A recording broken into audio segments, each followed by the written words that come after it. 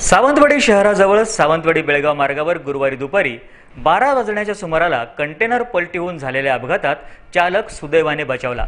हा अपघात एवढा भीषण होता की मोठी जीवितहानी होऊ शकली असती. पण त्याच वेळी समोर कोणी नसल्यानं अनर्थ टळला. अपघातात कंटेनरचं मात्र मोठं नुकसान झालंय. गुरुवारी दुपारी सावंतवाडी बेळगाव मार्गावर नगरपालिका कचरा डेपोजवळ ऑप्टिक फायबर बॉबींची वाहतूक करणाऱ्या कंटेनर वाहन चालकाचा ताबा सुटल्यानं भीषण अपघात झाला. ही गाडी रस्त्यालगतच्या झाडाला आपटली आणि पूर्णपणे पलटी झाली. यात गाडीचालक हमीद खान किरकोळ जखमी झाला. पोलीस आणि ग्रामस्थ यांच्या सहकार्यानं वाहन चालकाला बाहेर काढण्यात आलं. ही घटना समजताच पोलीस घटनास्थळी दाखल झाले. अपघातात गाडीचं मोठं नुकसान झालंय. रामचंद्र कुडाळकर कोकण नाव सावंतवाडी.